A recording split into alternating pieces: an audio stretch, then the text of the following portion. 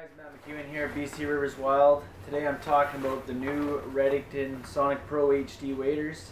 They are the newest addition to my wading collection. Uh, real awesome waders. I got to try them out yesterday, chasing spring steelhead. Uh, by far the most breathable wader I've ever got to use. I'll uh, compare them to my previous set, which was Simms G4Zs, hanging here behind me.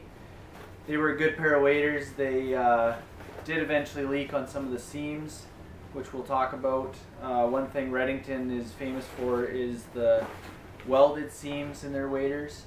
Um, yet to have a buddy or a connection to anyone who has complained about one of their seams failing.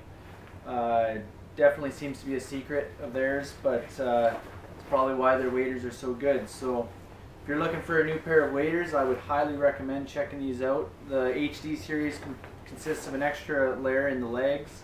Um, very nice warm wader, lots of room in the boot, and uh, tons of pockets.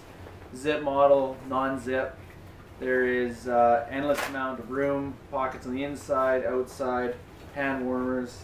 You can uh, definitely rig yourself up and carry everything you need for a quick fish after work or uh, just don't feel like packing your backpack. So uh, if you're needing a new set of waders, they'll probably run you 450 Canadian. Uh, check them out at your local shops.